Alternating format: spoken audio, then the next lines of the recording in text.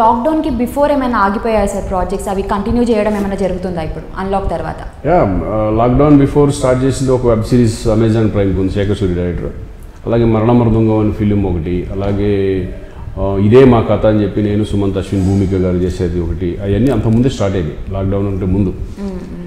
Lockdown అయ్యింది ఎప్పుడైతే కనుక ఫిల్మ్స్ చేయొచ్చు చేసుకుందాం జాగ్రత్తగా అని చెప్పేసి గవర్నమెంట్ ఎప్పుడు ఇచ్చిందో అప్పటి నుంచి ఏంటంటే వాటి ప్లానింగ్ జరుగుతూ ఇప్పుడు ప్రస్తుతానికి ఇదే మా కథ అండ్ వెబ్ సిరీస్ది శేఖర్ సూరిది ఫినిష్ అయిపోయింది. ఇంకా ఇది ఒకటి జరుగుతుంది ఇప్పుడు. అలాగే చిరంజీవి గారి అమ్మాయి సుష్మిత ఒకటి చేసింది. షూట్ అవుట్ అట్ ఆలేరు అని చెప్పేసి ఒక వెబ్ సిరీస్ జీ ఫైవ్కి వచ్చింది. అది ఫినిష్ అయిపోయింది. అప్పుడు ఈ రెండు నెలల్లో ఈ చేసుకుంటూ వెళ్తున్నాం. అలాగే కన్నడ ఫిల్మ్ ఒకటి తర్వాత బోయపాటి మూవీ ఒకటి అట్లా.